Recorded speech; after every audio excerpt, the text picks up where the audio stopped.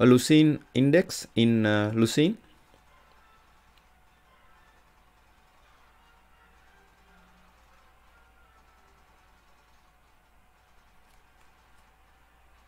Now we are considering Lucene uh, index.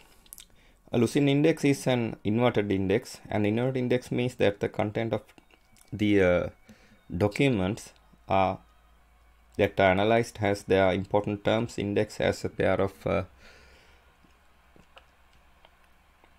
as a pair consisting of a field name and uh, and a field value.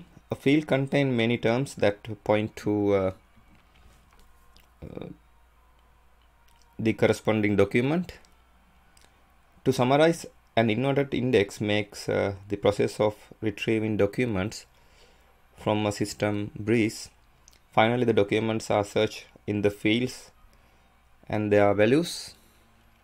Lucene index consists of many segments. A segment is created every time when new document is created and uh, indexed.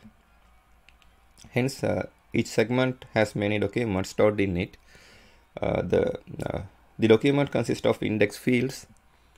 Uh, an index field is a pair of pair consisting of a field name and uh, field value pairs.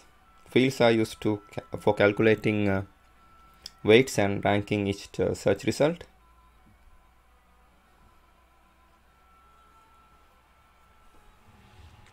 Here you can see the index is connected to segments. Uh, segments uh, is connected to documents. And document is connected to here fields. Now uh, this is the uh, end of my presentation. Thank you very much for watching it